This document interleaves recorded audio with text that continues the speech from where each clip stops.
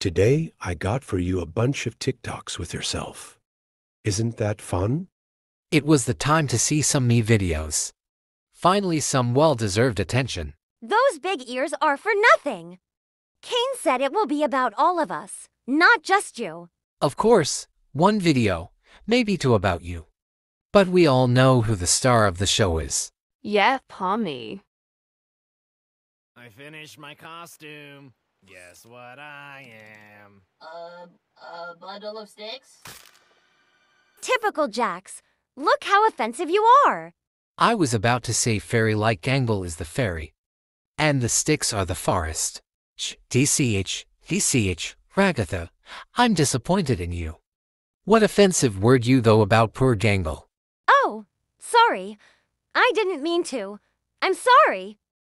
Up, I just shipped myself, and luckily you can too, with a coffee from your local Starbucks, because everybody deserves something to tickle their butthole this holiday season. What is wrong with you? And since when are you producing unhinged commercials for Starbucks? I don't know if I should wash my eyes or my ears first. I wanted to convince Caine to let us have a little coffee stand with books and nice candles, but this ruined everything. Don't worry, Gangle. I'll protect your little Stan from the purple freak. Are you gonna cuff me up, Zooble? I'm going all American cop on you. With no Pete around, you better say your prayers. Pomni! I have snorted a suitcase full of coke, and I'm starting to feel the effects. That's a canon event. Otherwise, what sane mind could get the ideas for his little adventures, like the Gloinks? You'll never understand, but a true artist has his own little ritual before the big show. Come back here, you son of a you f***ing coward! You f***ing piece of f***ing suck of f***ing you! You can go suck my you stupid ass!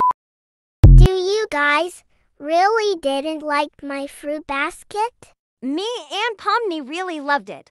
We liked the fruit a lot. The floral decorations was lovely, and the poem was really great. I still have fruits after three months, Gangle. I've decorated my castle with them. That's weird, Kinger. The fruits have probably gone bad. Well, Gangle. Your fruit basket was so bad not even Kinger the dumpster would eat it. Do you really think you're funny, Jax? You are not. You're a mean, unpleasant little. I don't care that's how you cope. I don't care that's the only thing your garbage personality can offer. Nobody cares. If you can't handle the circus, just go on and abstract already. Nobody will miss you anyway. Gangle, sweetie, you're right, but calm down. You're wrinkling up your sad mask, girly pop. I'm sorry, Zooble, everyone. I got a bit too in my feelings. I apologize to all of you except Jax.